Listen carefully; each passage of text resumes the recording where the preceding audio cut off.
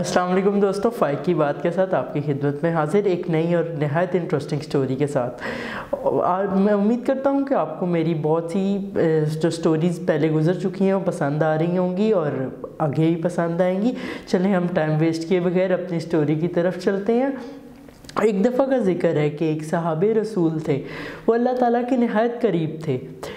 جب ان کی ڈیتھ کا ٹائم آیا تو موت کا فرشتہ جب ان کے پاس آیا اور اللہ تعالیٰ کی طرف سے ان کو حکم ہوا کہ آپ کی آخری خواہش کیا ہے، ان کا میں ابھی مرنا نہیں چاہتا۔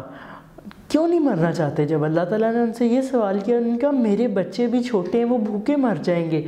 میں ان کے لیے کام کرتا ہوں، ان کا پیٹ پالنے کے لیے کام کرتا ہوں، مگر جب میں مر جاؤں گا تو ان، وہ کیسے بلیں گے، بڑھیں گے؟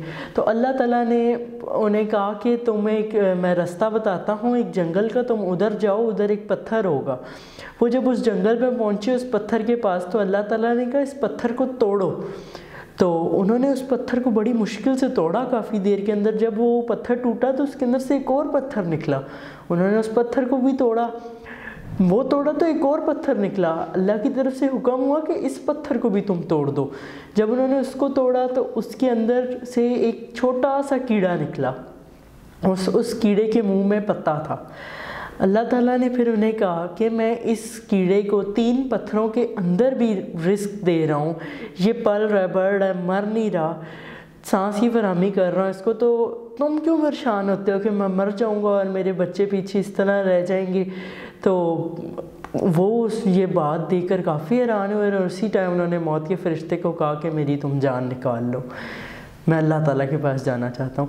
اس سے ہمیں یہ مورل ملتا ہے کہ اللہ تعالیٰ پر یقین رکھنا چاہیے، کیونکہ ہم تو کچھ بھی نہیں کر سکتے، سب کچھ اللہ تعالیٰ کر سکتے ہیں۔ ہم تو بس کوشش کر سکتے ہیں، باقی کرنا تو اللہ تعالیٰ کا ہوتا ہے۔ امید کرتا ہوں کہ آپ کو میری اسٹوری بہت پسند آئی ہوگی۔